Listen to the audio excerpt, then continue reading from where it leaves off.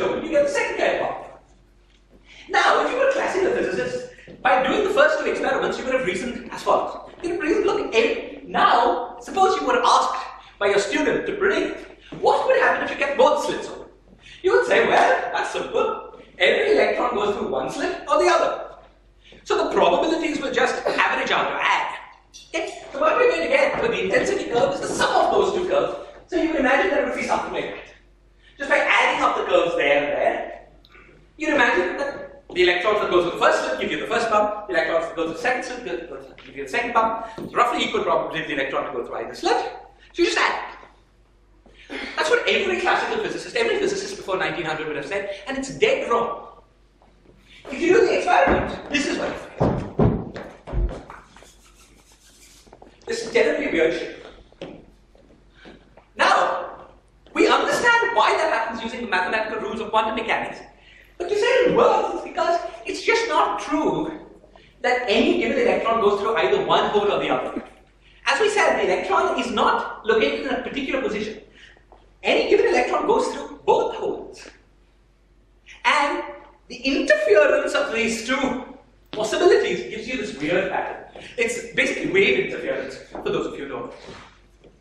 Okay, let's go on. Please.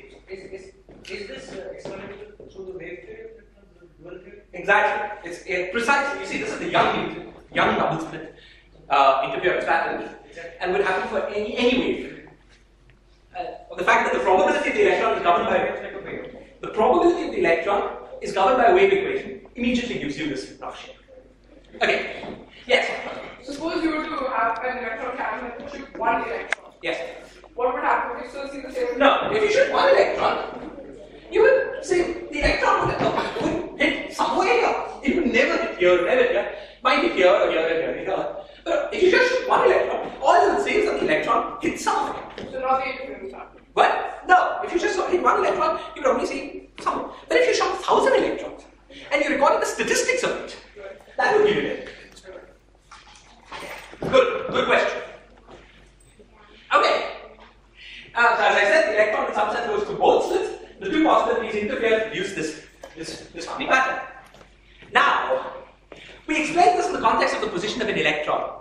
The basic fact of physics, in fact, a fact determined by the requirement of consistency, is that every dynamical variable in the universe undergoes quantum fluctuations.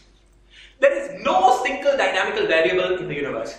Not the position, not the velocity, not the value of an electromagnetic field. Nothing that could change dynamically is determined certainly, except in very special states. Okay? Every dynamical variable in the universe undergoes these quantum fluctuations. It doesn't have definite values. It has values of probability, so it fluctuates in a certain region. Okay? You can ask, how do I know this? Hmm, it's maybe there are dynamical variables that you have never encountered yet and don't have these fluctuations. I know this because of a very powerful theorem.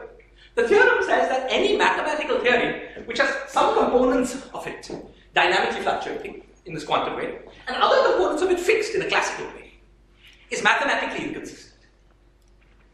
Okay? Now, presumably, you cannot have things governed by a mathematically inconsistent theory because the theory that's inconsistent will give you different answers depending on how you do the calculation. But the real world always gives us one answer, the right answer. Okay? So, requiring that the world is described by mathematically consistent theory tells you that even if there are variables in the universe that we never yet encountered, they must fluctuate in this quantum way. Okay? Now, we already in the first part of this talk encountered one set of dynamical variables, namely the geometry of space-time. That is dynamic it reacts to what's going on. So, if the world is consistently described by quantum mechanics, the geometry of space-time must also fluctuate in this fuzzy quantum way. Okay? This is by mathematical consistency. Now, you can ask, just like you've given this sort of thought experiment with the electrons, can you devise a sort of thought experiment or a real experiment, a real experiment that demonstrates that the geometry of space-time fluctuates in this dynamical way? And if you do the calculations, the answer turns out to be that it's not easy to do this.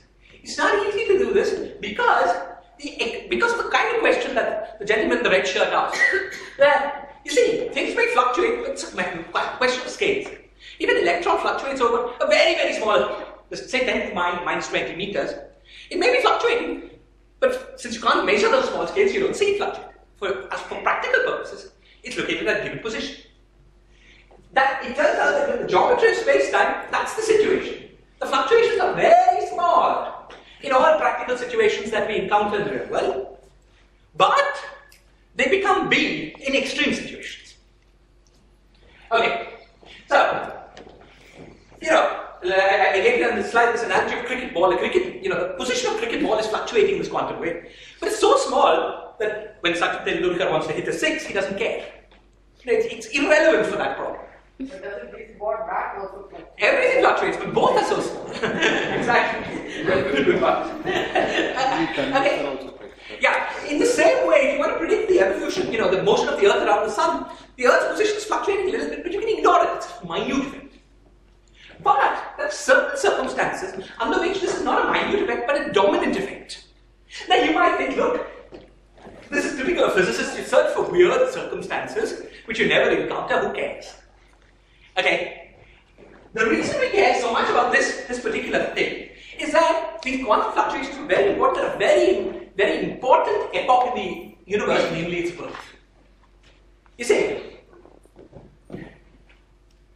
we, we know quite well now that, uh, that the uni- we know by certain mechanism, I won't tell you how, that the universe about 13.6 billion years ago started out in a very hot and dense, hot and dense situation and whoosh, expanded out fast out. And this initial hot and dense situation, uh, very, very smaller than anything experiments have ever encountered.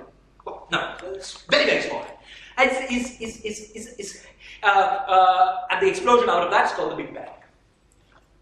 Uh, we know, we, you know, where, how do we know this? This happened 30.6 billion years ago, it's a long time ago. How do we know what happened so long ago? We know it by the laws of physics. You know, what we can do is measure the universe as we see it now and use the laws of physics to run the movie backwards. And as long as the laws of physics work, the laws we use are classical Einsteinian general relativity. You can run the universe backwards until it comes to this very small hot and dense state. And then you can ask, what happened before that? What happened before this thing was very, very small, just didn't go to point. Did the universe have a beginning? Was the universe created? These are basic and fundamental questions that all of us want to know the answer to. The answer is we don't know. We don't know because at this point, it turns out these quantum fluctuations of space-time geometry become more important than the classical effects that Einstein talked us about. And in order to know what happened before that, we need to know the correct theory of quantum fluctuations of space-time. Without this theory, we cannot answer the question about how did our universe. Now, this is a question all of us want to know the answer to. It's kind of question that people presumably 50,000 years ago looking up at the sky wondered, how did it all begin? We want to know the answer to that question. We cannot know it without knowing the correct theory of quantum fluctuating space-time.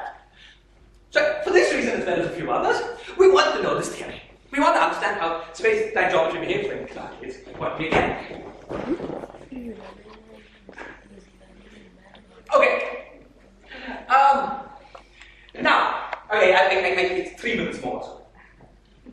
Okay. Um, you see, part one and two are over. Now part three. Part three is the shortest of the three parts because we understand not so much about it. okay. Uh, um, it's about the search for the quantum theory of space-time. I convinced you, I hope, that we need a quantum theory, a fluctuating theory of geometry of space-time. What is that theory? Well, you see, this situation was encountered before in the history of physics.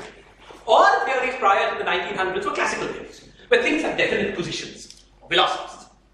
Then quantum mechanics came up and we realized things should fluctuate. Question. You've got a whole body of physics that is based on things with definite positions and velocities. You give that all up and start fresh? But you somehow modify those old theories to be quantum mechanical. And of course, your physicists are pragmatic. You take something that works and try to generalize it to work better.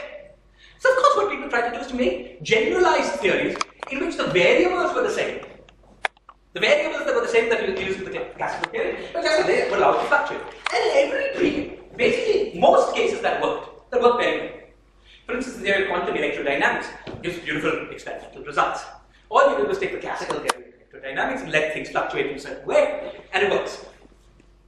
So the natural guess is to try to take, try to do the same thing with space-time. Einstein has given us a great theory of classical space-time. Let's try to make these variables fluctuate in some standard way. You try that, and it doesn't work. What do I mean by it doesn't work? I don't mean that it doesn't give results that are consistent with the experiment, because it's very hard to make experiments to measure these things. I mean that it doesn't work in the sense that the theory you get appears not to be mathematically consistent. Okay, so you, the process that works for every other theory does not give you a theory. So it's not a question of whether it's right or wrong, it's just nonsense. At least that's what it seems to most of us. There are some physicists who believe that it does give you a theory we just haven't understood it correctly. Perhaps they're right, but all the evidence points